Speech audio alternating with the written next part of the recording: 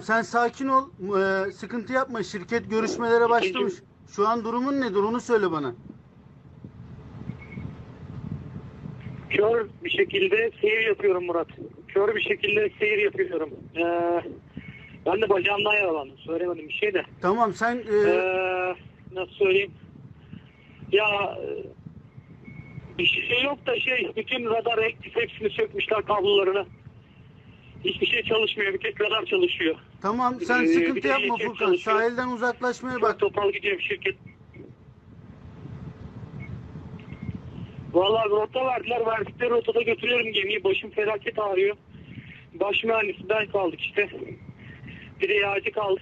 Ee, İkinci mühendis öldü. 15 kişiyi aldılar. Ben de götürüyorum gemiyi. Tamam sakin. Şu an işte. nerede? İkinci mühendis şu an nerede?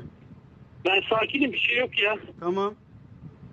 Cenazesi şeyde ya eee, şeyde yekede. Daha kaldırmadık onu şeyine. Ceset torbası arayacağım aşağı ineceğim daha işler duruyor.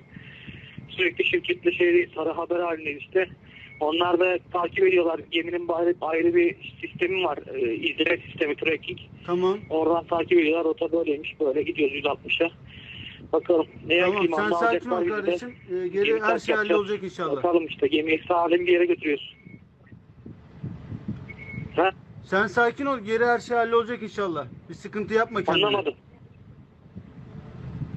Olacak olacak ya. Ben şey kurtulduk biz de. Yazık ötekileri var ya döve döve aldılar ya. Dövdüler Tamam. hani çok fena dövdüler. Şirket acenteyle falan temasa geçmiş. Söyle, söylediler mi sana? Söylediler söylediler. Ben her gün haberdar beni arıyorlar sürekli. Ben de şimdi bir ağrı kesici mi alsam diyorum da tek başımayım vardiyada almamayı düşünüyorum. Çünkü uyku tutarsa yani ne ayısım var ne bir şeyim var. Kör topal gidiyoruz bir de çarpmayalım bir yerlere. Tamam sen kendine Haritam dikkat et. yok yani. Sen Harita kendine dikkat et. yok geminin çift teklis diye. Aynen aynen. Şey yok sıkıntı yok. Dikkat et sen de kendine. Gemide misin? Ha şu an gemideyim ben. FPV'den arıyorum ben de seni.